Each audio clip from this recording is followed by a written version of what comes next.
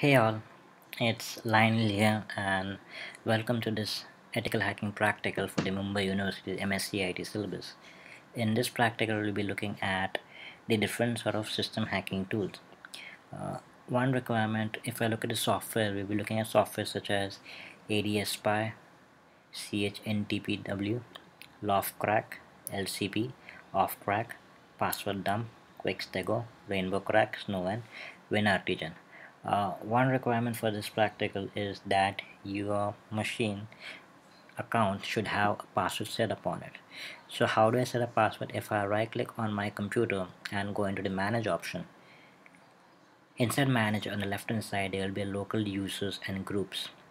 Inside users I have created an account called EH on that I've already set a password for it the first thing first is if I go to see maximum number of the practicals are all dependent upon using pwdump when I look at pwdump pwdump is one program which when you double click on top of it it will not help you do anything. You need to run this program from the command line.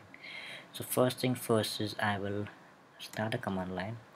I will move to the pwdump folder and if I run the command pwdump.7.exe you can see that it is extracting the different accounts and the respective passwords from the SAM file.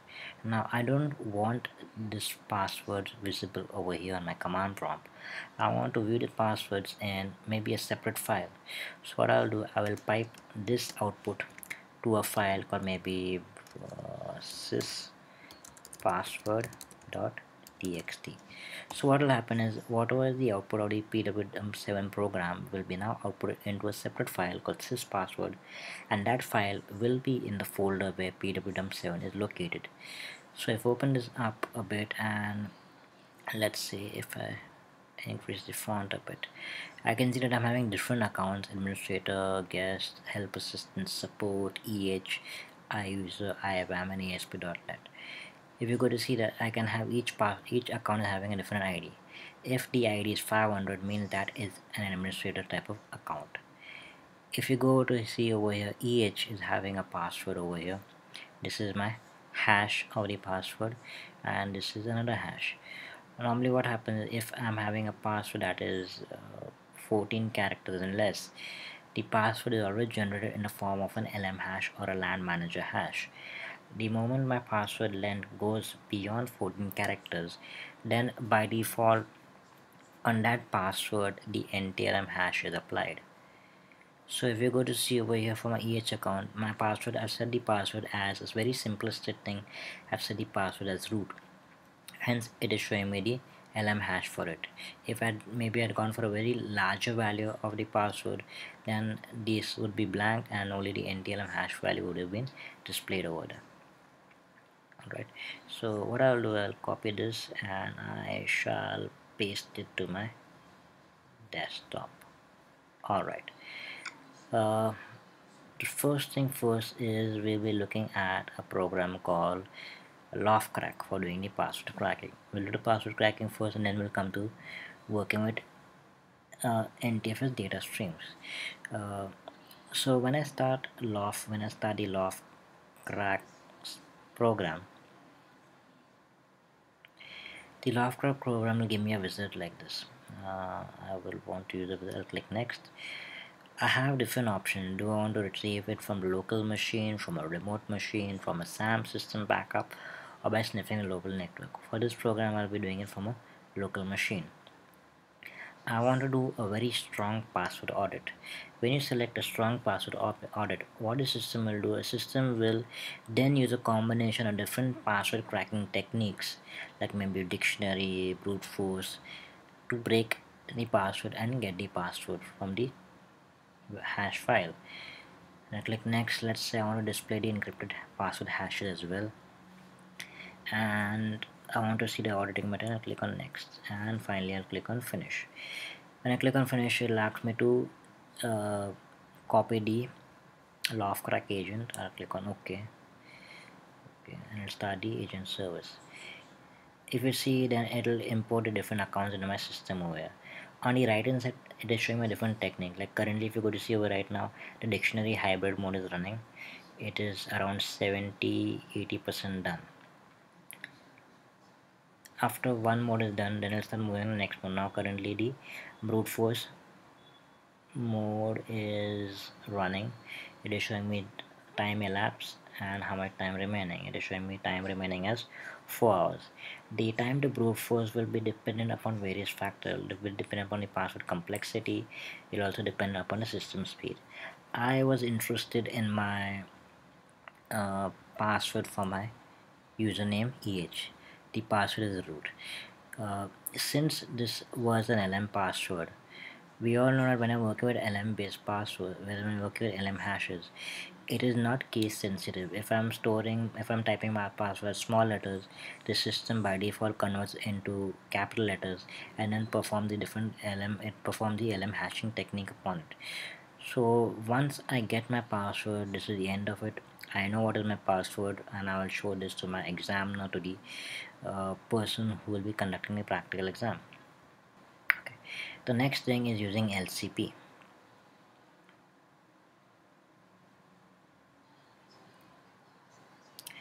when I say LCP the interface is pretty much self-explanatory. What I need to do I need to first import my password from my pwdump file. My pwdump file is this is password file and if you see right now it is now showing me the username the lm password the nt password and the lm hash. Currently eh is having this lm hash and the nt hash. All you need to do is click on play or begin audit. What will perform I'll try it'll perform the dictionary attack first then it'll perform the hybrid attack and then finally it'll perform the brute force attack. I can see that the hybrid attack is 40 it's around it's almost done over here. After this gets done it'll then move on to doing the brute force attack my EH account password was root which has already been revealed over here. It has now gone on to the uh, brute force attack and it is showing me time remaining as 50 minutes over there. It is working at a very high key rate per second. I have gotten the password of my account and my requirement has been satisfied.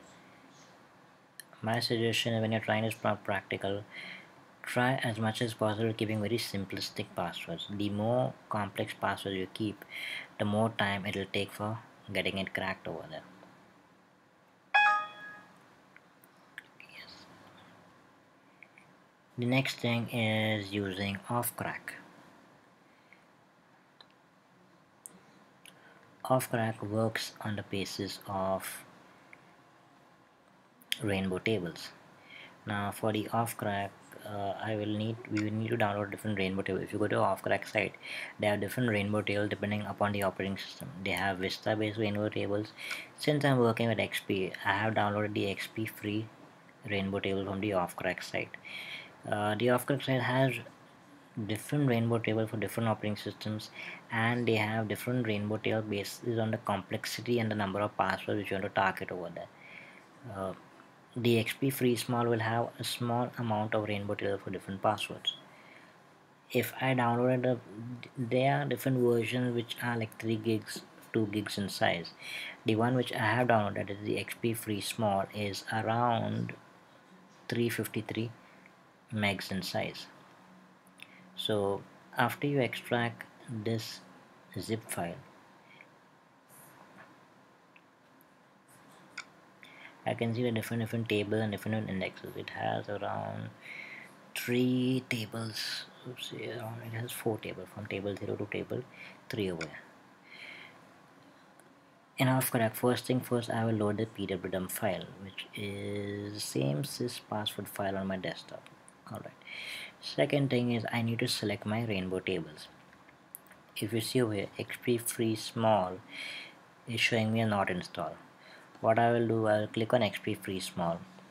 Or if you download the other table if you download maybe the Vista special extra large or maybe the XP freeze fast or the Vista free you will need to select them and then browse for the table folder location.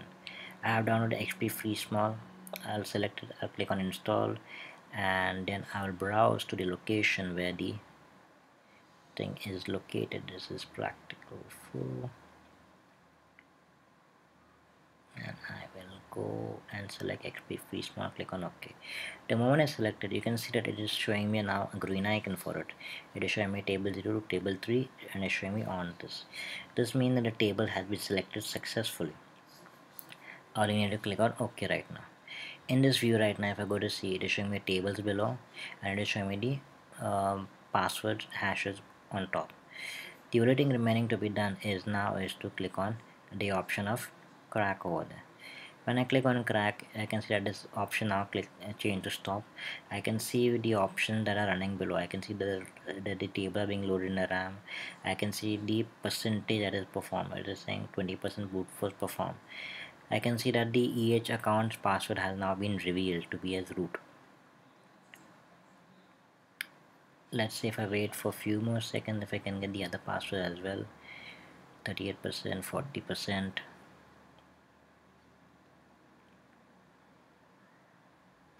it is now 60% done.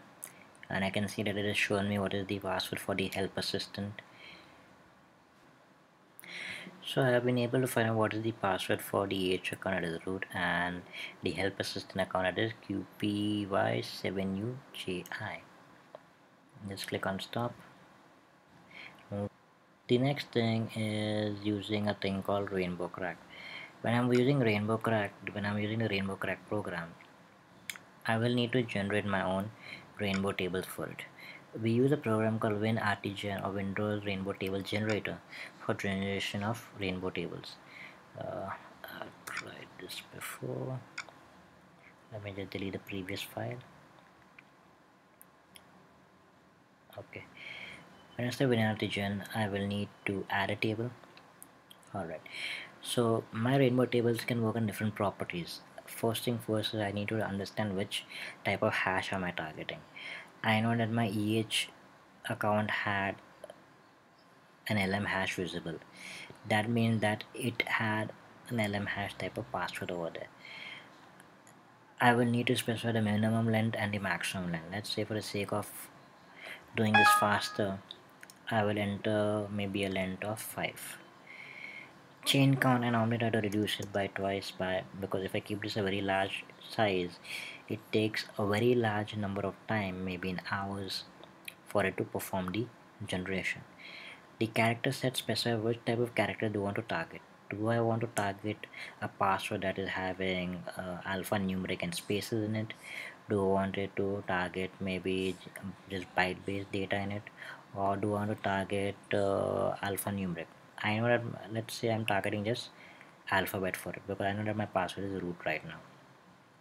I'll just click on OK and finally if I go to decipher this file naming convention it is having an LM hash that is working only on alphabets it is taking a length that is 1 to 5 characters in length um, 2400 and a 4400,000 length and I'll click on OK when I click on OK it'll start generation of the rainbow tables.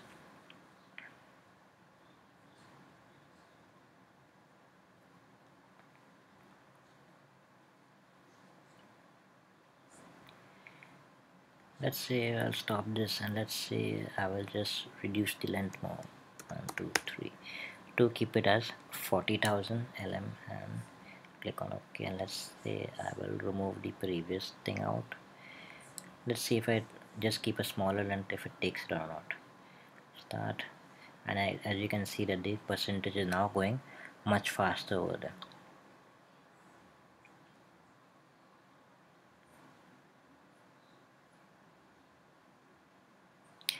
While this is doing I will try to import my I know that my EH account is using a LM hash so I will select the LM hash option I'll browse, I'll browse for the pwdump extracted file. I'll select it and I can see that it is now imported the hashes over here. It is showing me the comments which is the user accounts over there. The rainbow table generation is almost complete. Once this is done I'll select this okay it's fully done. I will now exit this program. In rainbow table I will search for the rainbow table I will go to my WinRTGen folder and I will select the rainbow table to generate and click on open.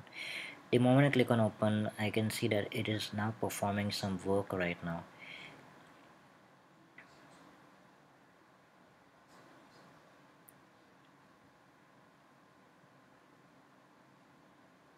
And I can see it was not successful because I had chosen a very small length of 40,000 the generation of the rainbow table may have completed faster but it did not help me crack the password over here. So what I'll do right now is I will try to regenerate it but keeping it a very larger value of 400,000 for the chain count maximum length of 5 let's say maximum length of I'll keep it less I'll keep it length of 4 and I'll click on OK I'll let this generate and I'll get back once the generation has been done.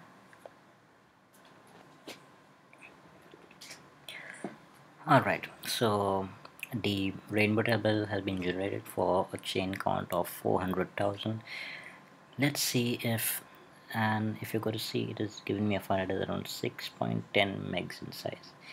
Uh, let's say I'll try to search a rainbow table and I'll select the rainbow table again. And let's see if it uses this and it's able to crack the password again. Alright by giving a chain count of 400,000 it has been able to find out what is the password of my EH account. It is showing me that uh, the plain text value is root and if I convert the plain text value of root into hexadecimal this is the hexadecimal value for it. Alright so I have cracked my EH account password. I'll select stop and if I go through it I can see that it has found one of nine accounts. It will show me the entire statistics of how much time it has taken what is the chain traversal time and stuff. All right. Uh, the next part of this practical is using or performing white space encryption using a program called snow. So let's say I will cd dot dot and I will clear screen and I will move it into snow. Right. For the snow help it will not show me anything so snow is snow is a program that allows me to take some sort of message or a secret message and hide it in the white spaces or of a text file for example. So what we need is for this practical I will need to have a text file. Uh, let's say I'm going to have a text file that is having a thing that is called as file1 so I will create a new text document. I'll give it as file1 and let's say I will say that I'll type some text hello world. This is liner here. And I'll save it. Alright.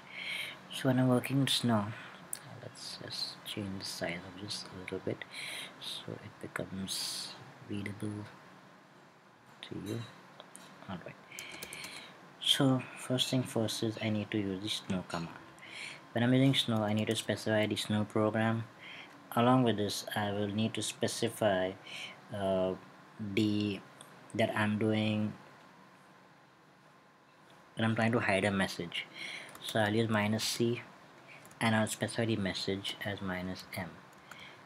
Um, followed by text which I want to hide in it so let's say welcome to practicals is the message I want to hide inside. Uh, I will also need to specify password. Let's say password is something like magic. And I am hiding this into my file1.txt and I'm creating it a file2.txt over here. So when I hit enter it is showing me that it has been compressed and it is showing me the different available space. If I go to see in that folder file2 has been created. If I open this file2 right now let's see if I'm opening file 1 if I do a control A you can see that in file 1 it is only selecting the text part of my file but let's see what will happen if I do control A in my file 2 the moment I do control A in file 2 it is selecting the text as well as the blank spaces. When this happens I know that my white spaces or my blank spaces in my file is having something hidden inside of it.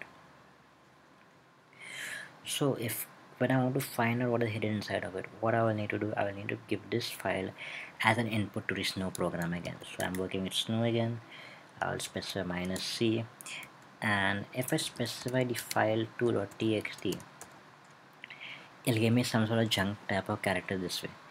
This is why this is because we have set a password for it.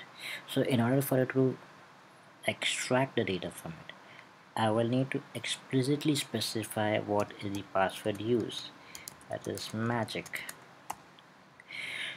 so when I specify snow capital minus C minus P the password and the file 2.txt it is now showing me what is the data or the message that was hidden in the white spaces inside of file 1.txt which was created as file 2.txt coming to the next thing is using NTFS data streams let's say I will create two text files on my desktop.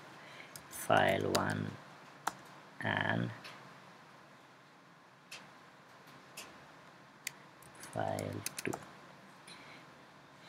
this is 1 save it.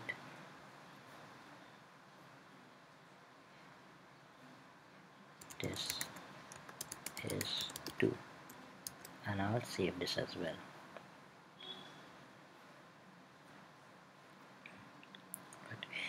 so one requirement of this practical is that when you are doing NTFS data streams alternating data streams the partition on which the files are residing needs to be an NTFS partition. If they are not an NTFS partition then this part of the practical will not work.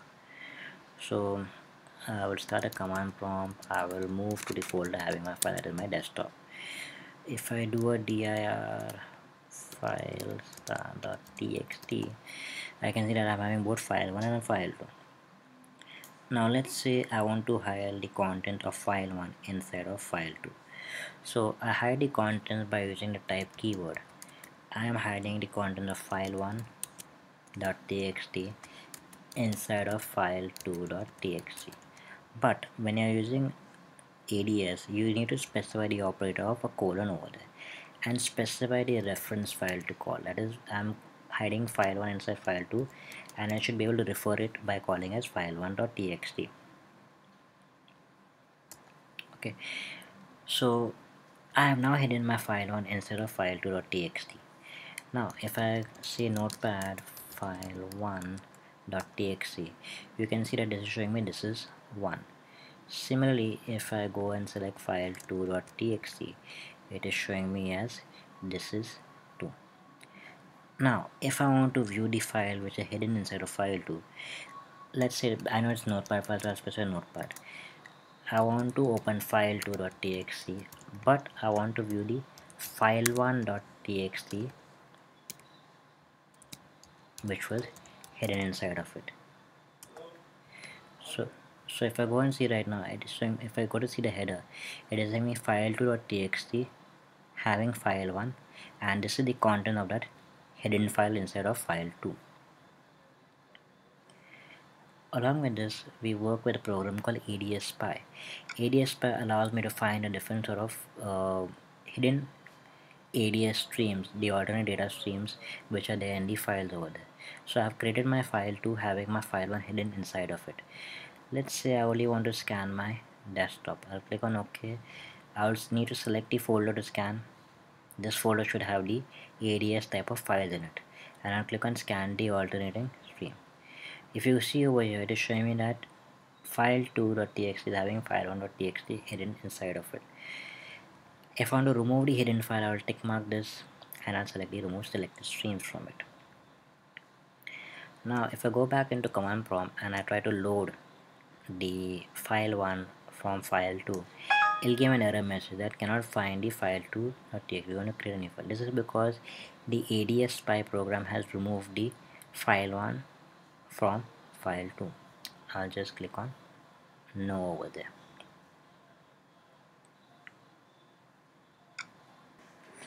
Alright for next part we will be discussing about how we can reset the Windows password using the CHNTPW software.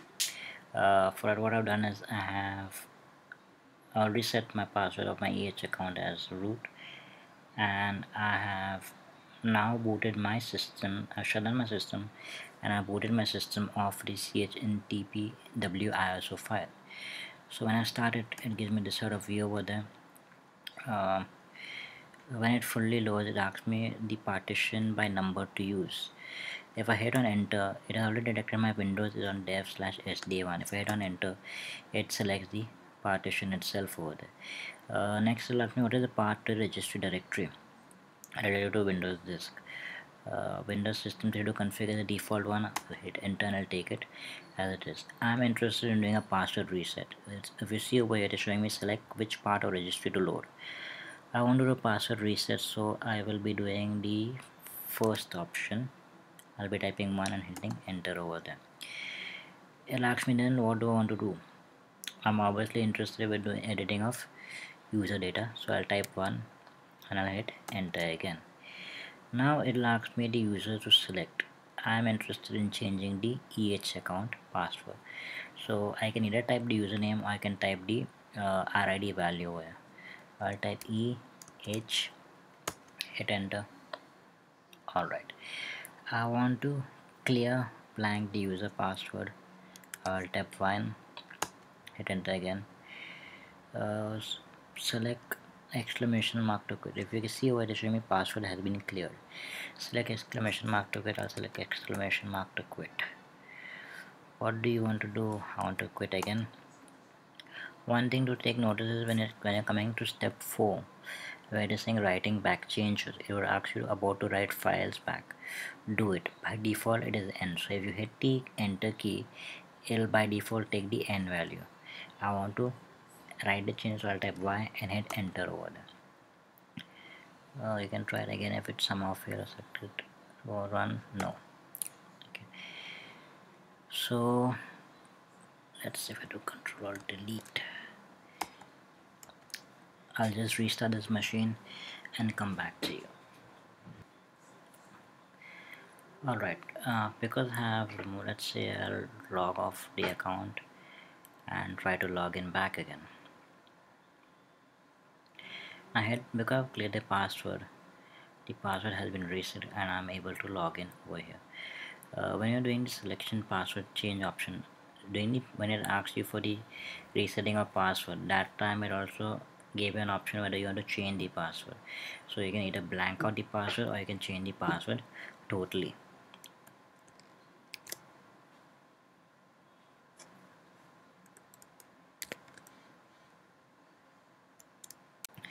Next thing is using a program called QuickStego for performing image based steganography uh, one correction is the earliest snow program which we had looked at Snow isn't white space cryptography, it's white space steganography. When I open a QuickStego program, it gives me this sort of interface. First thing I need to select the image. Uh, let's say I'll select a sample image. Let's say select sunset. After you select the image, by default, if the image has any sort of secret message in that, it will display the secret message in this type of viewer. Let's say I'll type a message, hello class after type the message I need to select the hide text option. When I click on the hide text option the text message is now hidden in my image. I need to now save this image. And when I save this image this image is now ha having the uh, original sunset image having this hello class text hidden inside of it. Now if I open this image again if I open a newer image in QuickStego that is sunset 1 automatically it is able to extract and show me the hidden message. Uh, one issue with quick stego is when you're performing the stegography of plain text inside of your image it does not give you any sort of password option. So if somebody else has the same quick stego program the text which is hidden inside of the image will be visible over here as well. If another thing that I can do I can select the get text option uh, let's say I'll click on open image I will select another image right let's say I'll select the water lilies image. Uh, if I have a text file I can click the open text option browse for the text file and the text file text will get loaded inside of my text box over here. I can then click again hide text and I can click on save image to save it as a new stego image if I close QuickStego again and if I try to open the water lilies one image which is having the content of the pwdump files dumped inside of it I should be able to view the content in my text box and that is so here